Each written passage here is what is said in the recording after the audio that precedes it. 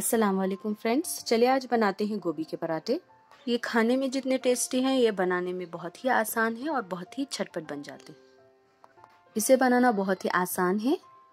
चलिए इसे शुरू करते हैं। मैंने यहाँ पर एक गोभी का फूल ले लिया है। ये अराउंड आधा किलो है। तो मैं इसे यहाँ पर इसके सारी डंडियों को इस तरह से कट कर लूँगी और इसे छोटे छोटे पीसेस में हम इसे निकाल लेंगे सारे। फिर हम इसको अच्छे से ग्रेट कर लेंगे। इस तरह से। आप इसको इसके डंडी के साथ भी इसे ग्रेट कर सकते हो या फिर आप इस तरह से सिर्फ़ उसका ऊपर का हिस्सा इस तरह से ग्रेट कर लें। मैं तो यहाँ पर कंप्लीट इसका सारा गोभी को इस तरह से ग्रेट कर लूँगी। या फिर आप इसे चॉपर की मदद से अपना टाइम सेव करने के लिए इस तरह से आप इसे कट करके बारीक इस तरह से इसे ग्रेट कर सकते हो। वैसे तो ये ग्रेट करने से मैं यहाँ पर चॉपर की मदद लूँगी क्योंकि इसमें बहुत ही छटपट और बहुत ही आसान तरीके से बन जाता है और अपना टाइम भी बच जाता है। तो देखो, मैं किस तरह से इसे बारीक कर ली हूँ।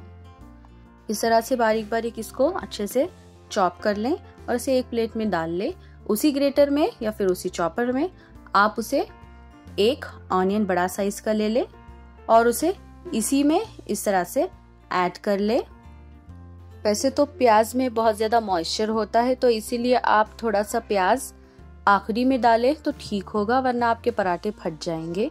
और नमक भी आप आखिरी में ही डालेगा, क्योंकि जैसे ही आप इसमें ऑनियन डालेंगे तो जैसा ही प्याज का पानी छूटता है, वो सारा उसमें मॉइस्चर आ जाएगा। तो इसे आप लास्ट में डाल सकते हैं। मैं इमीडिएट बना रही हूँ, इसीलिए मैं यहाँ पर ऑनियन डाल रही हूँ। फिर मैंने यहाँ पर एक कटी हुई ग्रीन चिली को ऐड किया।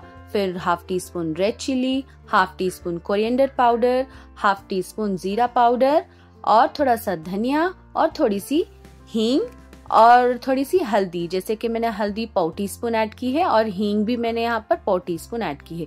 अब मैं यहाँ पर अजवाइन ले लूँगी, जो मैंने यहाँ पर वन टी स्पून डाल रही हूँ, क्योंकि यह हाजमे के लिए बहुत ही अच्छा होता है। इसलिए हम पराठों में यहाँ पर अजवाइन का इस्तेमाल करेंगे। इस तरह से आप इसे मसल लें और हाथों की मदद से फिर इसे ऐड करें।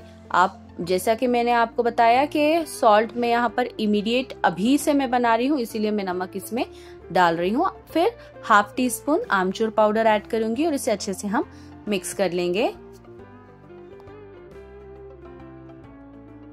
अब हम इसको इस तरह से फिलिंग बनाने के बाद एक पैन ले लेंगे, जिसमें मैं यहाँ पर two tablespoon oil add करूँगी। फिर सारा मिक्सचर हम इमीडिएटली इस तरह से ऑयल में डालकर इसे 10 से 15 मिनट के लिए अच्छे से इसे सॉफ्ट होने तक हम इसे फ्राई कर लेंगे। इसे ज़्यादा आपको गलाना नहीं है, बिल्कुल आपको इसे सिर्फ़ मीडियम फ्लेम में इसको अच्छे से पका लेना है ताकि हमारा फिलिंग भी तैयार हो जाए और ये थोड़ा सा सॉफ्ट भी हो जाए। अब हमारा ये फिलिंग 10 मिनट पकने के बाद ये तैयार हो चुका है। अब हम इसे साइड में रख लेंगे और इसे पराठे बनाने की तैयारी करते हैं। फिलिंग को हमें अच्छे से ठंडा कर लेना है। अब एक बाउल में हम ऐड कर लेंगे दो कप गेहूँ का आटा। इससे हमारे पराठे बहुत ही सॉफ्ट और बहुत ही नरम बनेगी। इसमें मैं थोड़ा सा नमक ऐड करूँगी और two tablespoon oil. Oil डालना ज़रूरी है ताकि हमारे पराठे बहुत ही सॉफ्ट बने। फिर इसे मैं थोड़ा सा पानी ऐड करते हुए इसे रोटी जिस तरह से हम गूंदते हैं, उस तरह से मैं इसे आटे को अच्छे से गूंद लूँगी। और इसे 10 मिनट के लिए मैं अच्छे से इसे नरम कर लूँगी ताकि हमारा डो भी अच्छे से सॉफ्ट हो जाए और बहुत ही नरम। हमें यहाँ पर डो को बहुत ज़्यादा पानी ऐड नहीं करना है। आपको इस तरह से, इस तरह से आपको थोड़ा सा हार्ड ही गूंदना है ताकि हमारे पराठे टूटे ना। तो अब मैं यहाँ पर थोड़ा सा ऑयल डालूँगी और इसे 10 मिनट के लिए हम इसे अच्छे से गूंद लेंगे आटे को। दस मिनट के बाद अब यहाँ पर आटे को हम 10 से 15 मिनट के लिए हम इसे अच्छे से रेस्ट के लिए छोड़ देंगे ताकि हमारा डो अच्छे से सॉफ्ट हो जाए और ये अच्छे से नरम हो जाए। तो आप देख सकते हैं यहाँ पर 10 मिनट मैंने जैसा ही गूंदा मैंने इसे 10 से 15 मिनट के लिए इसे रख दिया। फिर अब यहाँ पर आटा 10 मिनट के बाद इस तरह से सॉफ्ट और बहुत ही नरम हो चुका है। अब मैं यहाँ पर यहाँ पर रोलर की मदद से एक इस तरह से इसे रोटी का शेप दे दूँगी। आपको इस तरह से रोटी की तरह आपको पहले बेल लेना है फिर आपको इसमें यहाँ पर गोभी की फिलिंग ऐड करना है। जैसे आप आलू पराठे बनाते हैं मूली के पराठे या फिर जो भी आपकी पनीर के पराठे या सब बनाते हैं उसी तरह से आप इसमें फिलिंग ऐड कर ले। फिर हम यहाँ पर इसका शेप आप इसे गोल भी बना सकते हो। मैं यहाँ पर थोड़ा सा डिफरेंट इसको इस तरह से बना रही हूँ। जैसा ये स्टील का है ना तो थोड़ा ज़्यादा चिपक रहा था तो इसीलिए मैंने यहाँ पर आ, थोड़ा ज़्यादा मैंने यहाँ पर आटा डाला ताकि वो बहुत ज़्यादा टूटे ना। तो जैसा कि मैंने बताया कि आपको इमीडिएटली इसे बनाना है, वरना इस पराठे टूट जाएँगे, क्योंकि इसमें नमक होता है। तो आप इसमें थोड़ा सा मैदा इस तरह से डस्ट कर ले, फिर हम इस तरह से इसे रोल करते हुए रख लेंगे। अब हम इसे अच्छे से रोटी पका लेंगे, इस तरह से पराठों को पका ले। दोनों तरफ़ से। आप चाहो तो इसमें ऑयल भी डाल सकते हो या फिर आप इसमें घी भी लगा सकते हो या फिर बटर भी। तो मैं आपको दोनों तरीके से बताती हूँ। मैंने यहाँ पर ऑयल डाला है तो अभी से मैंने पाँच से दस मिनट के लिए अच्छे से इसे पका लिया दोनों तरफ़ से। आप चाहो तो क्रिस्पी भी बना सकते हो या फिर इसे सॉफ्ट भी। मैंने यहाँ पर पहले ऑयल डाला और इसे पाँच से दस मिनट के लिए पका लिया। अब मैं इस पराठे को आपको घी डालकर बताती हूँ कि आपको किस तरह के सॉफ्ट और बहुत ही टेस्टी से पराठे बन जाएँगे।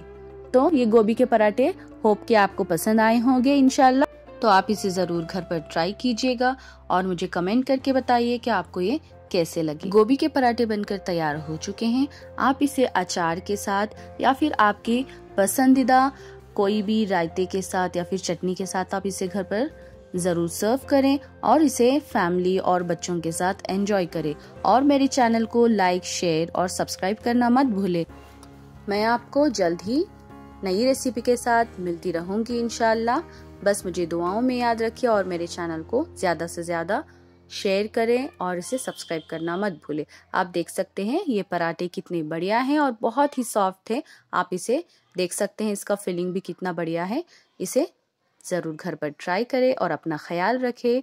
Till then take care Allah हाफिज़। Thanks for watching